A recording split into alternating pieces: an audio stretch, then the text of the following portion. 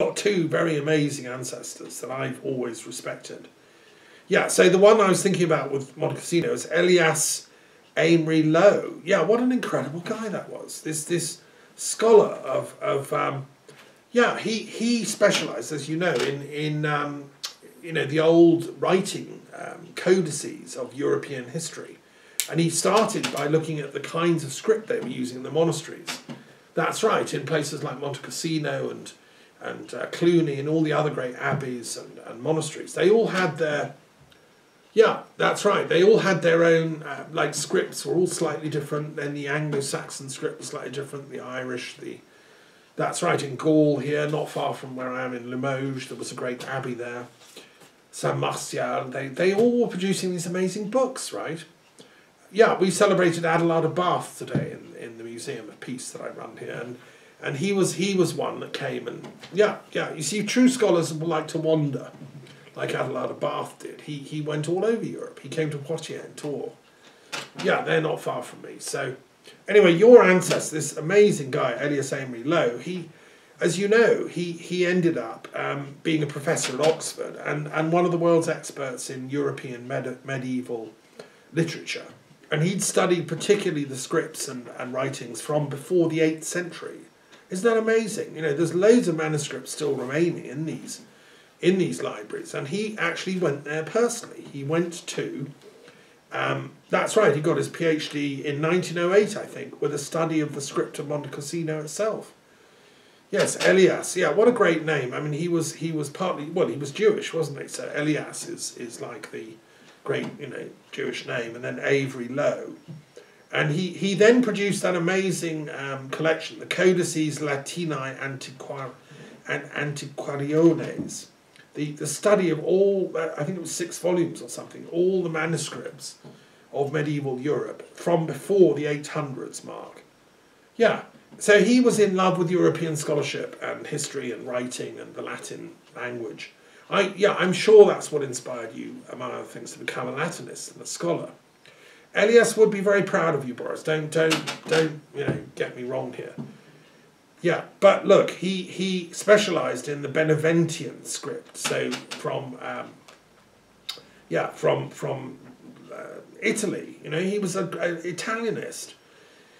That's what I'm. The point I'm trying to come to. Yeah, no, you you got there before me, Boris. Yes, of course he would be. He'd be absolutely appalled at Brexit. Like he he's. In fact, I can see him now. You know, if I was a clairvoyant, I'd say I see him on a cloud jumping up and down telling me to tell you, Boris, to get off it and stop doing Brexit. You just got to exit from Brexit. Like there's no, there's no, yeah, no. That's what I think uh, Elias is saying. And as a Jew, he knows how important it is that, that we should all collaborate and work together. International, yeah, internationalism, yeah. No, it's not a Jewish conspiracy, it's a Jewish necessity. We have to be internationalist in our outlook if we're going to survive as a culture, as a one world. Yeah, you can't carve the world up into little bits called this or that empire. We tried that in the 19th century. Do you remember that game we used to play called Diplomacy? And we'd all, and it's 1914, and everyone's a different empire. Yeah, those days are gone, Boris. We've got to have like one world, one unity, one. Yeah, that's right. No, well, I used to sit on the board of the World Federalists. I mean, they're lovely people, a bit ahead of their time, though. Um, but uh, anyway, so look, um, yeah, no, I love I love Elias. So uh, I'm talking to his descendant, aren't I? And that's why I bother to ring you, Boris, because I know that there's some yeah residual intelligence in your lineage here. Yeah, and then of course, as if that wasn't enough. Um, yeah, so then Frances Lowe, um, that's right. She was uh, your grandmother, I believe. Yeah, she then married, well, I mean, an incredible guy, Sir James Fawcett, of all people, 1913 to 1991. I mean, what another amazing ancestor to have in your family tree. Um, he was a very famous lawyer.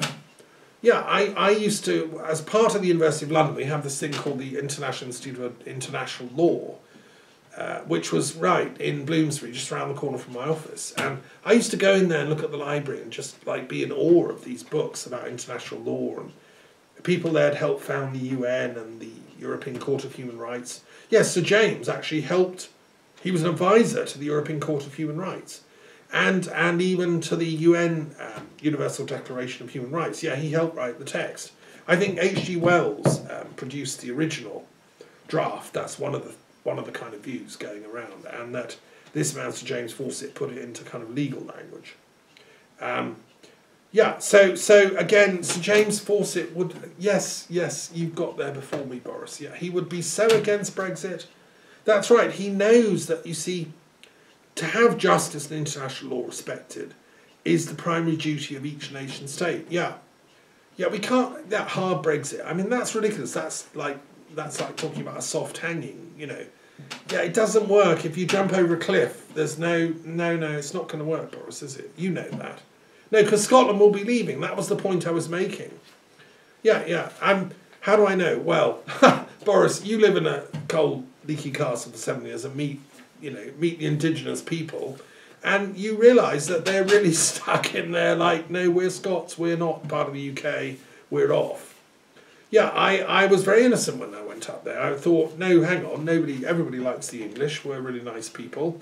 I'd just been talking to Theresa May at one of my schools, and I was thinking, you know, we're, we're, we're all nice people here, aren't we? But God, they hate the English. I, I used to get like stopped by the police and, and hassled just because I had an English accent. Yeah, it was a, it was a nightmare. As if the rain wasn't bad enough. But you know, after seven years, I began to see it through the eyes of these amazing Scottish people, and I think I think it seeped into me like like like the rain. Um, and I realised that hey, you know, there's a whole other narrative of history. Yeah, the English have been pretty abysmal to the Scots. Yes, yes, and even it's even in Karl Marx's book, you know, Das Kapital. I don't know if you've ever had a chance. No, you've never read it. No. Well, I had to read it for my studies because I did political philosophy at, at university. Yeah, yeah, London. And of course, yes, I did the PhD on the Cold War, right? So that's Russia versus the West. So you got to you got to know your Marx. Well, Marx was really proud of the fact his wife was of Scottish descent. Yeah, you didn't know? No, no. Well, many people don't realise. I mean, he was much more interesting than people realise. And um, she, no, she wasn't Jewish. She was part Scottish, for God's sake. I can't. She was the real brains behind the whole production. It should be called not Marxism, but von Westphalenism. That was the tradition that she came from. That's right, descended from the Dukes of Argyll, who were based at Inveraray Castle, near where I lived. Yeah. Yeah, and it was her family silver that kept them going and kept Marx in, in enough pennies to go on writing Das Kapital. Yes, so anyway, it's worth reading. And poor old Marx doesn't like the English either. I mean, he, he points out that they were pretty horrible to the Scots and to the Irish. Yeah, you should read him on the Irish famine, Boris. It's it's not pretty. Yeah, and Engels, his his his colleague, had a had a he, he was in love with an Irish woman who was living in Manchester. You know, the Irish, no, the Irish are very intelligent people too. In fact, you see, the Irish and the Scots are the same people. They just, they just kind of go back and forth across the land. Yeah, yeah. And the Druids, you see, coming back to the Druids, yeah, yeah. Druids were their priests and, and intellectuals, the intelligentsia. Yeah, there's an academy, a Royal Irish Academy, and they've got an amazing library in Dublin. Yeah, yeah. No, you should go to Dublin more often. Trinity College, I recommend. It's got one of the best libraries in the British Isles. Yeah. No, there are amazing intellectuals in Ireland. I've got many friends in Ireland. Yeah, so anyway, look, I'm going to come back to Ireland. Yeah. Yeah, no, I know it was a, it was a mistake, Boris. You, you can, but look, I'm trying to get to the point of showing you the way out. Yeah, the Scottish thing. No, the Scot. There's nothing I can do to help on that. They will be leaving the UK.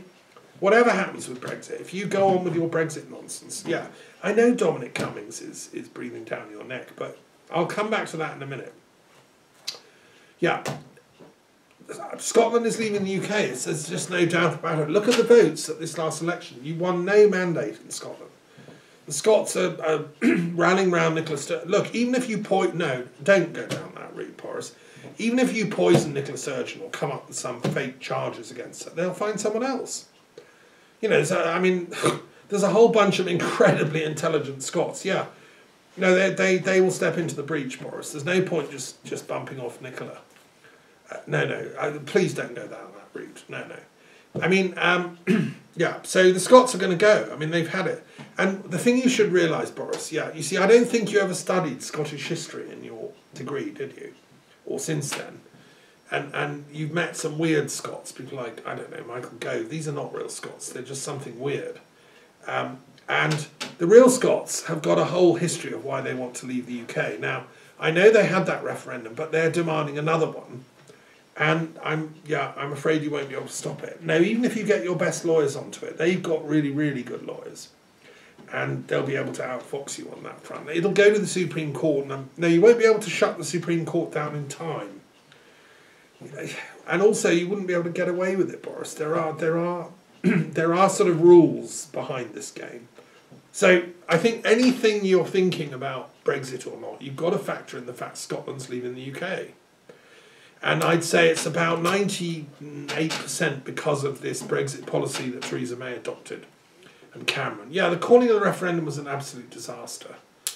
A complete, utter disaster. But what was really bad was the terms under which it was called. I no ceiling, no requirement of majority, um, no kind of like every country has to agree on this. No, no thinking through the consequences. Yes, I don't think Cameron ever did moral education at school. I don't know what on earth his teachers thought when they trained him. Um, yeah, no, I, I've heard from people at Eton that, that he wasn't really that bright.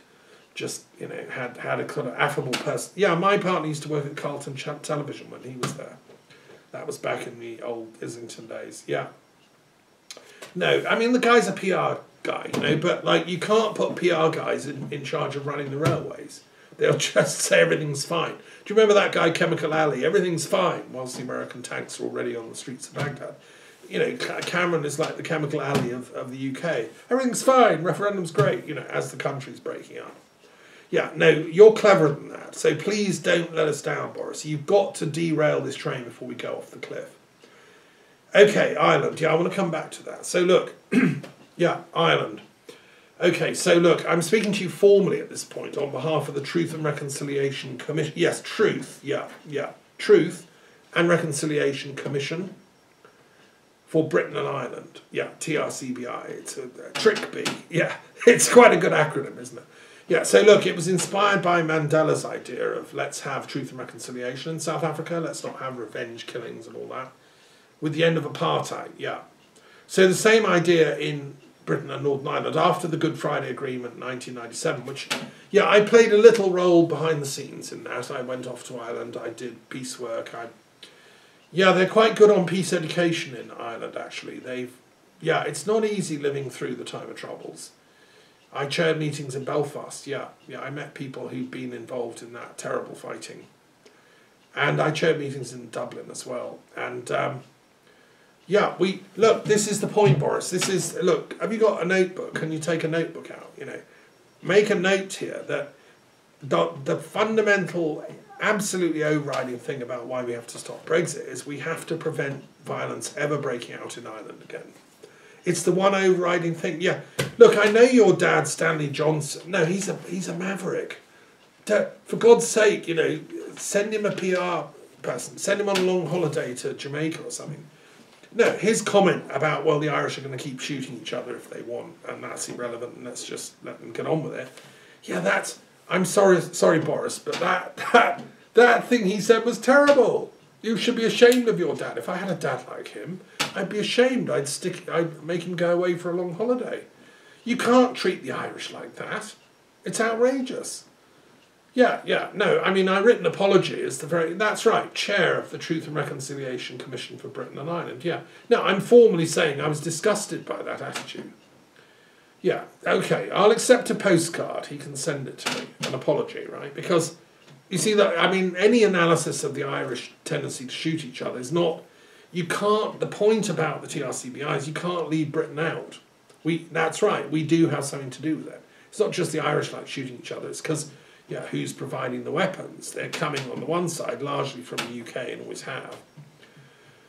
Yes, and, and I know the Celts always used to do, you know, inter-tribal warfare, but on the whole it was kept quite civilized, and most of it was in the form of magical battles.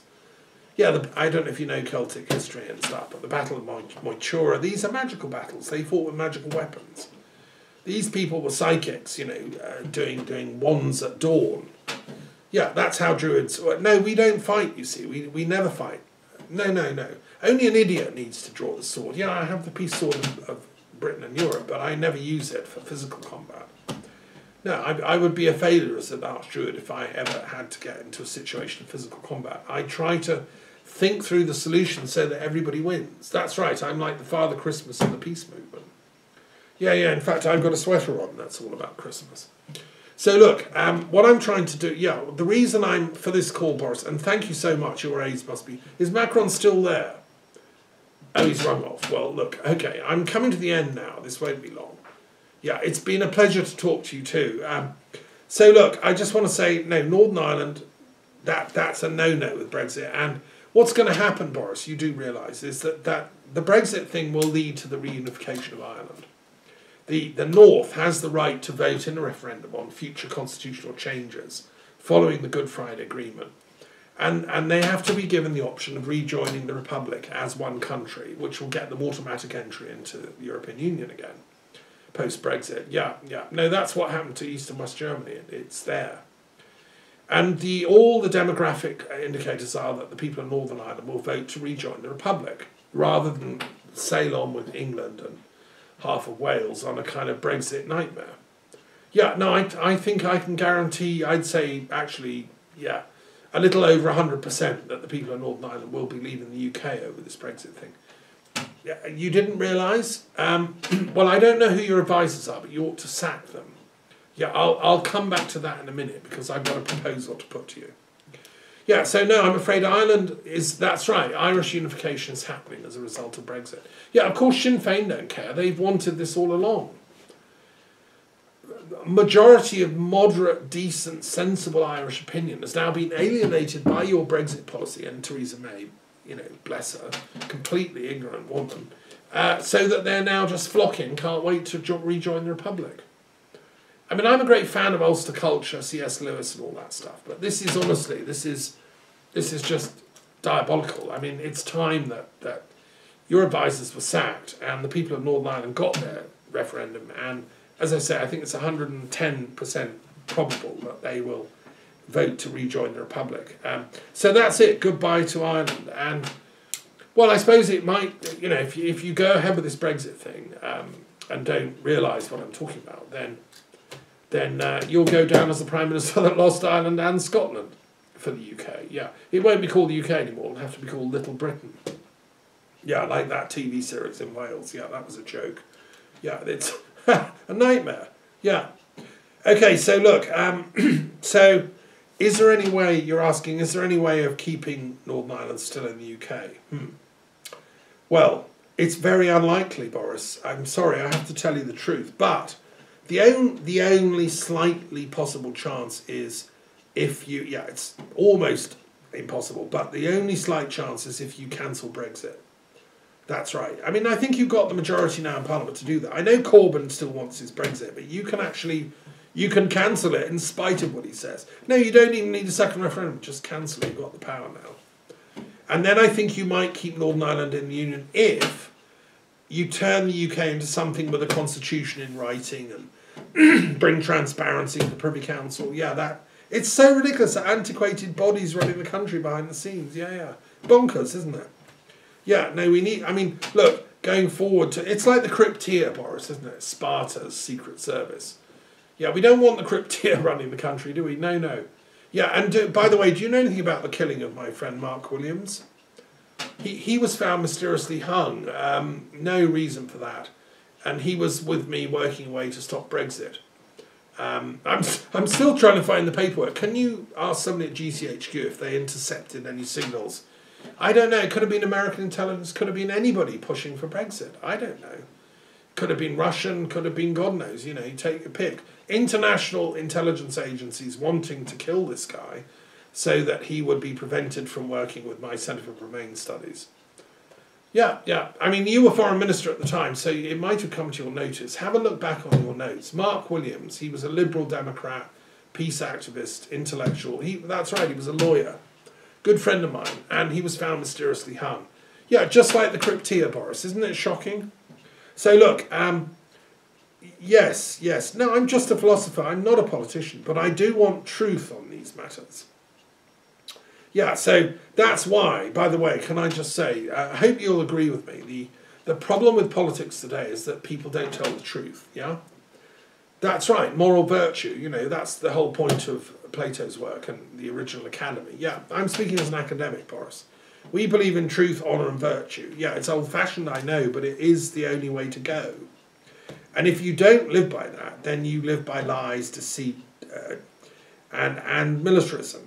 You see, peace can only be built through truth. That's right. So that's why I proposed, look it up on the website. Uh, that's right, the, the campaign against political lying.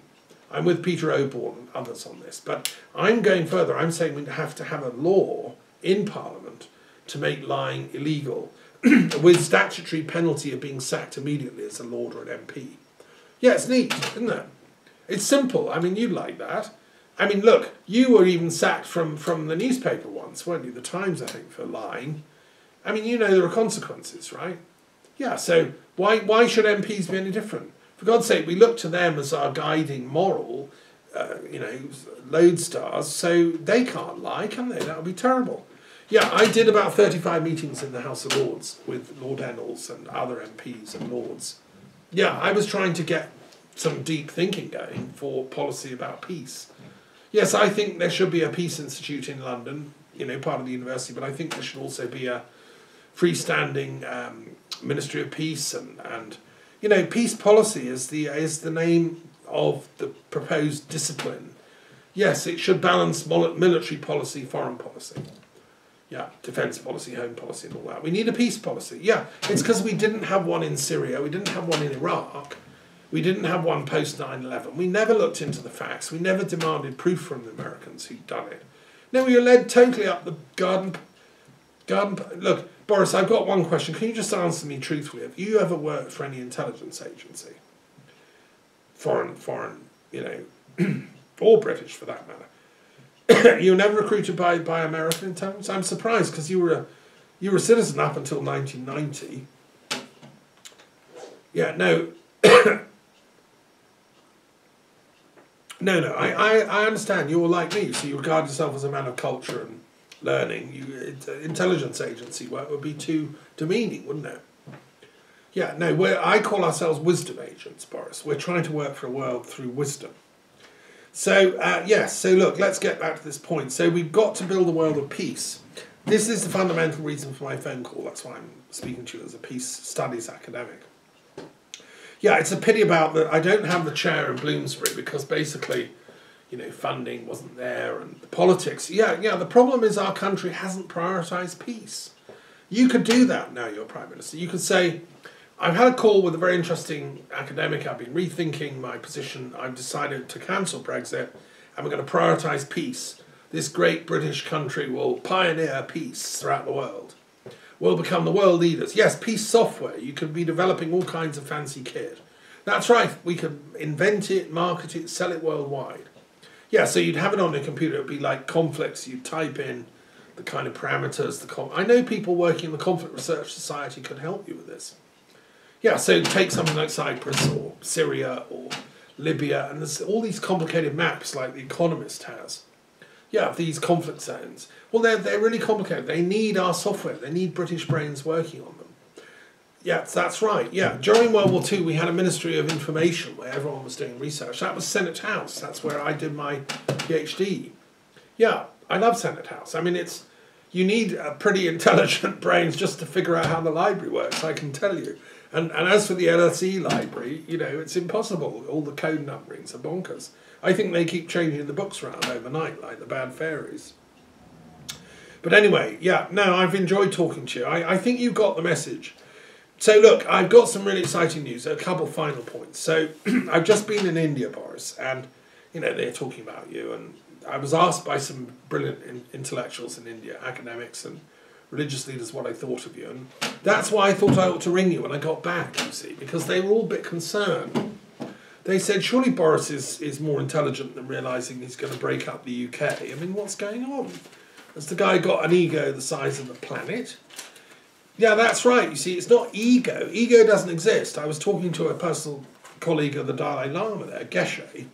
Yeah, Geshe is like a PhD. That's that's like me. I'm a kind of Geshe of the Druid and Christian community, and he was the equivalent of the Buddhist. He'd just come down from Dharamsala for the conference. We stayed up till midnight talking a couple of times. Amazing guy. Yeah, and his point, of course, is that you have to go beyond ego, Boris. You see, that thing, this Boris ego, that that that that's impermanent. It's going. It's going. It won't endure. No, the only thing that endures is, gosh, consciousness. You know, bodhicitta, the, the consciousness awareness of, of the oversoul, of the enlightened mind. That endures. So my enlightened mind is speaking to your enlightened mind. That's that's you know the Dorje wisdom that I'm talking about. That's right. So anyway, India. To uh, sum it up, it was the International Conference on Peace and Nonviolent Action. I know it's a mouthful, but if you say ICPNA, it, it, it's easier. And there are about, I don't know, 200 people. We, we met in a Jain ashram in the middle of Delhi. And it was like going to heaven. I, I love these people. There were men and women from all over the Commonwealth, all over India, all over the world, Americans, Russians. In, you would have loved it, Boris, if only you could have, you know, Uh, done a paper. It would have been great. I chaired a couple of sessions. There was a talk by one of the most important newspaper men of India, like the Rupert Murdoch of India. Yeah, he spoke about the need for a new human, thinking how we can build a better world without changing our own natures to be better. Yeah, and then they asked me, can you believe it, to, to do the final declaration, which I wrote up. I got very inspired, and I wrote it in the form of poetry, actually. Didn't even put it into prose. I mean, there's no way you could sum up a conference like that in, in prose you'd have to fill encyclopedias. There were so many learned scholars. So I just did a sort of Shakespearean blank verse poetry prose type thing. Yeah. No, I'll send it to you. Yeah. What, what's your email? Sorry, your private email. Okay. Okay. Okay, And no, I'll do that. Yeah, johnson.boris at gmail.com. Yeah, no, that's fairly easy. I'll do that. Okay. Yeah, so, um, and anyway, it, it was an amazing and moving experience. And the other thing that happened there, whilst I was there, was we had the World Intellectual Forum gather.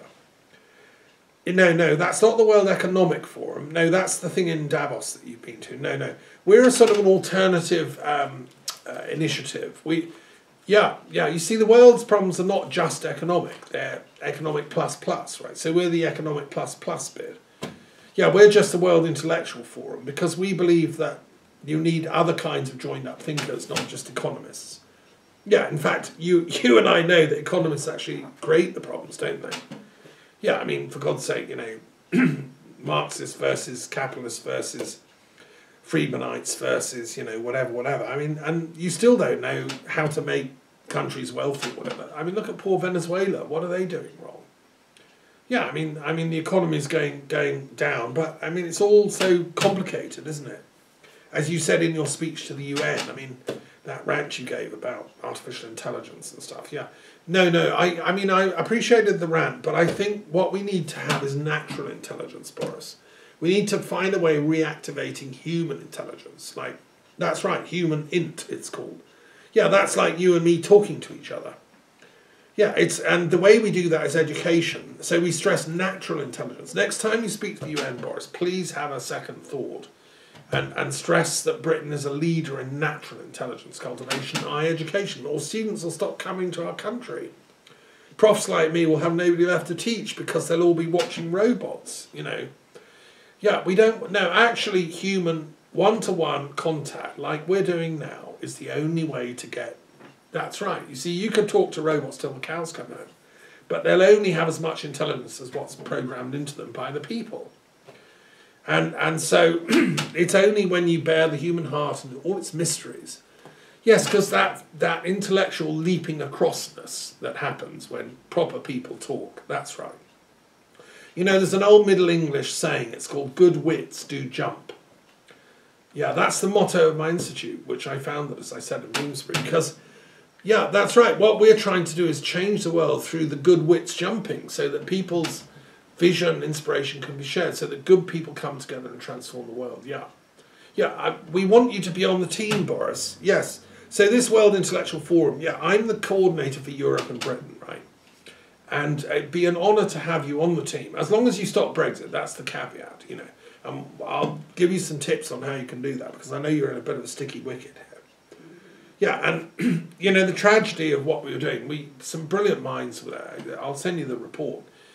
Yeah, but the tragedy was we were in Delhi at the time, and all these riots were kicking off between Muslims and other groups. Yeah, it's a tragedy.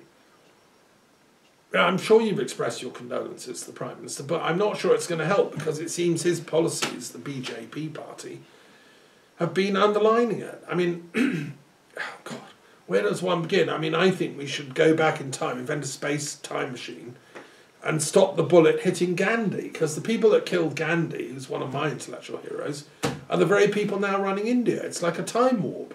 We've got to go back and stop the bullet, Boris. If you got in touch with any good British inventors, can you please invent a time machine? Go back, stop the bullet hitting Gandhi, and we'll get the whole thing going right. Yeah, I don't think it matters if you interfere just a little bit in the past. I think I'll check on the ethics of that. I'll talk to my uh, yeah. I've got I've got contacts in the sort of spiritual worlds that can advise on the ethics of that. But no, so India's going going. no, it's terrible. What you know the story. What they've done is they've introduced this law that a requires all citizens of India to prove they're citizens of India, and if you don't have the documentation going back, I don't know, seventy years, you you stand jeopardy of being kicked out or something. well, that's ridiculous because lots of people in India don't have that kind of documentation. So you're you're creating a climate of fear and disenfranchisement and insecurity overnight They've done that in Assam and found 13 million people aren't properly Indian, and yet they're as Indian and as Hindu as anyone. So, I mean, of all the stupid bits of legislation you could dream up, that's like, you know, up there with the worst of them. and then there's this other silly thing they're doing, which is, yeah, I didn't know about it because we don't really cover Indian news in our press anymore, do we? But um, it's tragic because they are part of the Commonwealth, and yeah, from the Commonwealth, we ought to be concerned about India. And so there were all these riots and fights and Molotov cocktails going off in Delhi. We were talking about peace and they're all fighting. Because this government, bless it, bonkers, has brought in this law that says that anyone from a Hindu background can come to India from neighbouring countries, Pakistan or Bangladesh or Afghanistan, which is like not actually neighbouring, so that's weird. Yeah, and they can just turn up in India at the passport control, say, hello, I'm a fleeing Hindu uh, can I have sanctuary in your country? And the Indian government will say, yeah, come in freely. Well, they expect about 26 million people might come in through the frontiers. Yes, anyone can come apart from, that's right. No, even Christians can come because they're being persecuted in these countries. But weirdly, and this is the weird bit, you can't come if you're a Muslim or a Jew. Well, that's kind of, yeah, anti Semitic. I mean, doesn't do it justice, it's just bonkers. Like, um, yeah, so, and the, yeah, no, the Muslims don't like this. And there's about, I don't know, quarter of all Indians are Muslims. And so they're, they're rioting in all the different cities of India that I know and love. I mean, Patna, where I was a few years ago, Calcutta, of all places, Chennai, what we call Madras, yeah, where Fort St George's, yeah, yeah. Now that's where um, so much of British history is. When I was in the church there, I saw Prince Charles' signature when he was visiting there with, with Princess Diana. You know, amazing. This is our culture too. I'm writing a dictionary of British um, intellectuals in Indian history. We contributed so much to their culture for 300 years. I think what the British did in India, above all, the most important was this sense of tolerance, fair play. Yeah, Sir William Jones, yeah, he was one of my heroes. He, he was a Druid. Did you know that? Yeah, I'm in the I'm in the Jones tradition. He he he was the founder of the discipline of Indo-European studies. That's right, he learned Sanskrit. He first discovered that Welsh, Latin, Greek, Sanskrit, they're all one big language family, including English, called Indo-European. Yeah, I, I go a bit further. I say that it's related to the Hamito-Semitic language family, but that's what I wrote in my Kabbalah Runes book. You're welcome. I'll send you a copy for Christmas. Yeah. well, you're going to get the talking book, you know, uh, if you'd rather. Yeah, I'm sure you don't have much time to read, but Anyway, look, Boris, to come to the conclusion point here is what Prime Minister in their right minds would bring in a law that is going